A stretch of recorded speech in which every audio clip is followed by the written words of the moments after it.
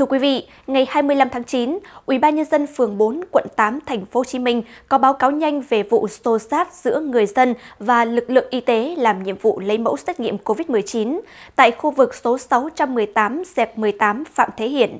Theo Ủy ban nhân dân phường, trong lúc xô xát có hai mẫu test nghi ngờ mắc COVID-19 đã bị ba người ném vào các tình nguyện viên.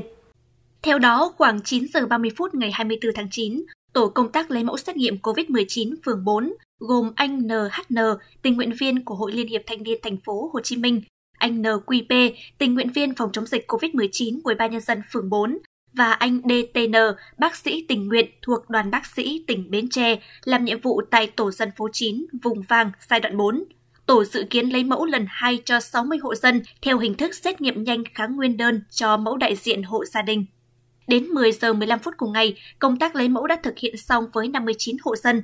Lúc này, LTT, trú tại 580 14 Phạm Thế Hiển từ nhà đến điểm lấy mẫu xét nghiệm và yêu cầu được phát que xét nghiệm để đem về nhà tự lấy mẫu.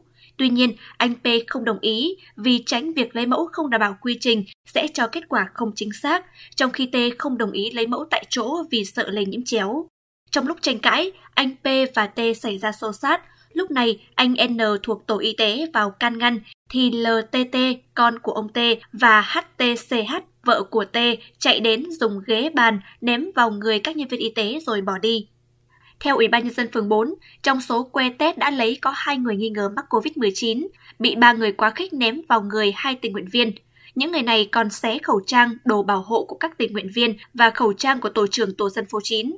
Sau khi xảy ra sự việc, Công an phường 4 đã mời các bên về trụ sở để làm việc. Hiện Công an quận 8 đang củng cố hồ sơ, nhân chứng, làm rõ hành vi chống người thi hành công vụ để xử lý nghiêm, tránh gây dư luận xấu. Bạn có video hấp dẫn. Bạn bắt gặp được những khoảnh khắc độc đáo. Hãy gửi về plo a vòng pháp luật tb.vn để nhận ngay quà tặng và nhuận bút hấp dẫn.